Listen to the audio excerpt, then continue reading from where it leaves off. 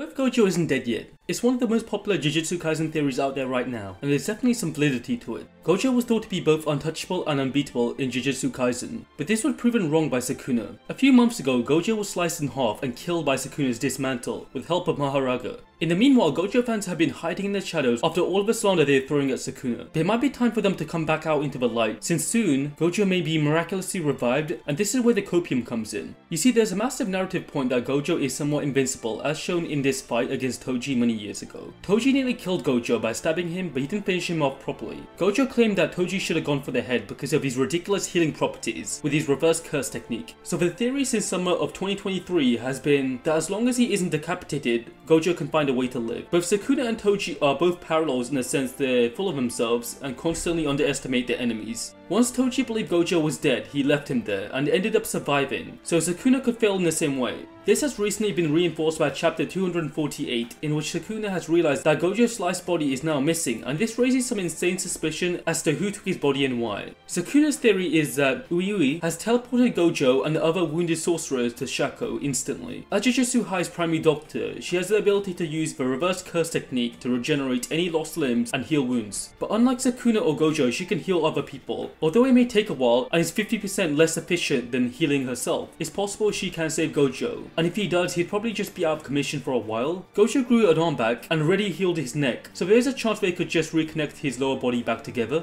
There's always been this interesting narrative surrounding both Gojo and Shoko, and it has to do with their friendship, even friendship in general.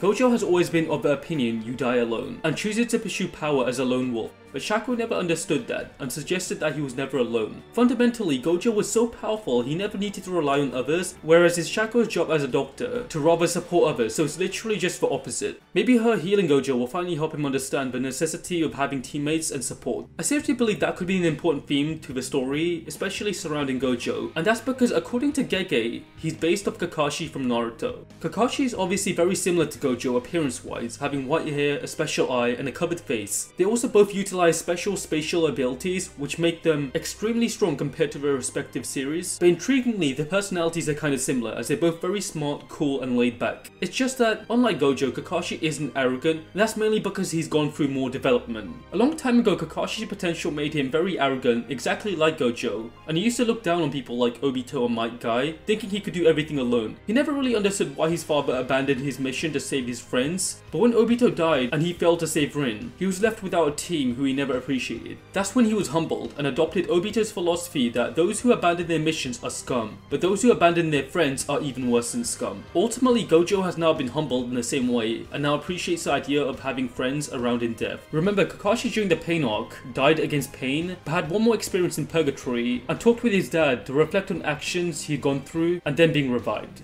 So I wouldn't be surprised if this proved to be the inspiration for Gojo's revival in the Jujutsu Kaisen story if I were you. Also keep in mind, if Gojo comes back, I think it probably would have lost some of his abilities like Kakashi did at the end of Naruto Shippuden. Remember, a lot of people think that Gojo could have made a binding vow in order to save himself by sacrificing some of his power. While that would be cool, I don't know how much evidence there is substantiating that.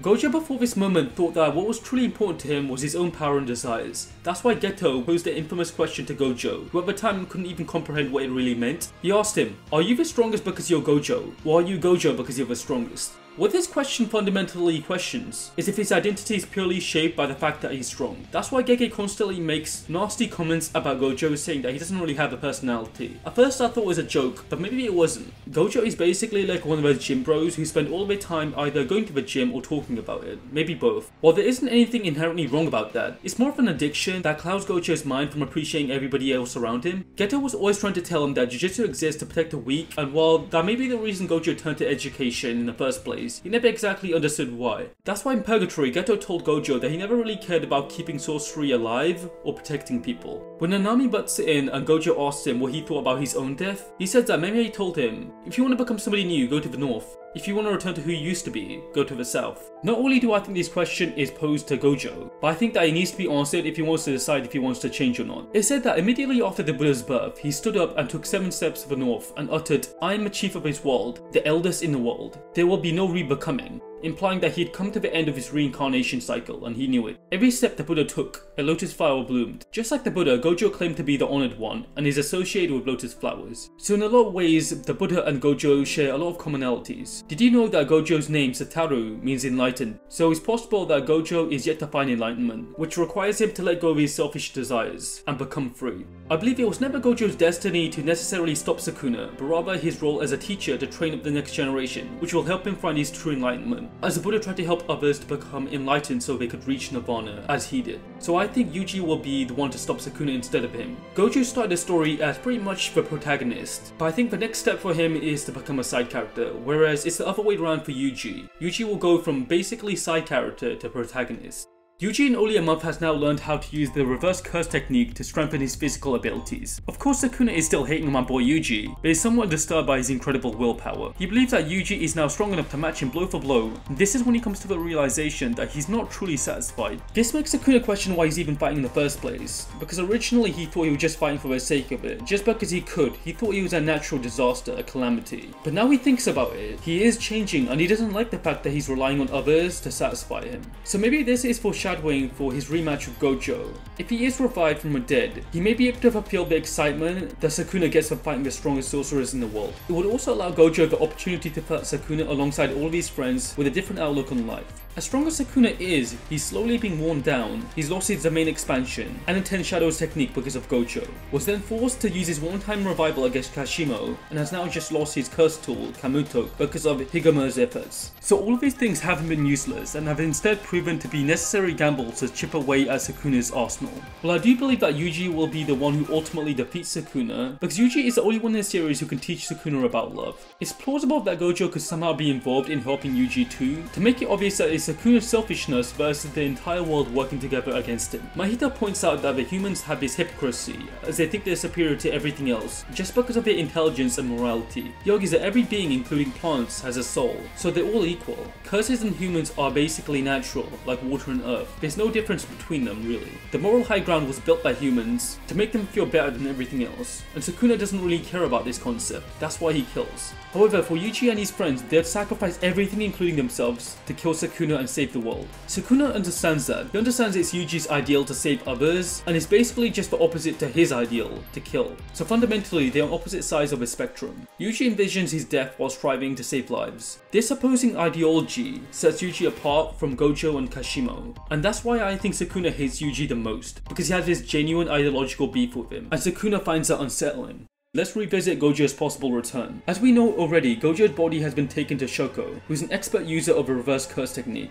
According to Gege, there's only three sorcerers capable of healing others this way, and she's one of them. About Shoko's statement from chapter 220, that Gojo was an idiot for thinking he was alone. She was always there to help him, just like the others, so it'd be kind of ironic if she was the one to save Gojo. Near the end of Gojo's fight with Sukuna, his own reverse curse technique was replenished. So even if Shoko isn't capable of completely healing Gojo, it's possible that she'll heal him to the point that he's capable of doing it himself. Gojo was told that if he wants to become somebody new, he needs to go north, to be reborn as a Buddha once was posed a question to Nanami. He immediately wanted to go south because he hated the idea of change, betting on a future generation as he died. The reason Gojo even taunted Principal Yaga about Sorcerer dying with regrets was because Nanami changed his mind right then. However, as I mentioned before, Gojo stands as a complete opposite of Nanami. When it really comes down to it, Gojo wants to move towards improvement, just like how the Buddha reached for enlightenment. All Gojo wanted was for his best friend Geto to acknowledge and praise him for fighting Sukuna. Now that he's truly happy and has realized that he isn't as lonely as he once thought he was, reaching his peak strength, he can now live for the sake of others instead of just himself, making him more human. He once said that nobody can really understand him because they just admire him, the same way people admire flowers. Another way Gojo could be saved involves Principal Yaga's curse technique, the Cursed Corpse, which requires a sorcerer to replicate soul information from physical information, and then input that into a Cursed Corpse core. Additionally, the creator must put these cores containing three compatible souls into one Cursed Corpse, and then have them constantly observe each other. Of course, it could also be possible that Gojo is actually just straight dead and any attempt to revive him just won't work, which would put Sukuna at a massive advantage, especially considering that as of recently, a new rule has been added to the Culling games, allowing Sukuna to now gain Tengen's Grand Merger ability, which grants him the ability to merge with humanity. This power passed on to Sukuna means that he's now not just dicking around and killing meaninglessly, since he possesses a massive threat to the entire planet. But now Yuta had returned and tanked a point-blank dismantle from Sukuna, who denied his chance to switch sides. Yuta, like Yuji, lives to protect and value humanity, so he uses Rika to finally face off with Sukuna. With Yuta on the battlefield, we have no idea what's gonna happen. I can only assume that Sukuna has another ace up his sleeve, and will win, but I wouldn't count Yuta out just yet, since remember he's meant to only be second to Gojo. So comment down below what you think's gonna happen next, and whether you think that Gojo will actually return. Anyway, thanks for watching, don't forget to like the video and subscribe to see more JJK content in the future. Until then, see you next time.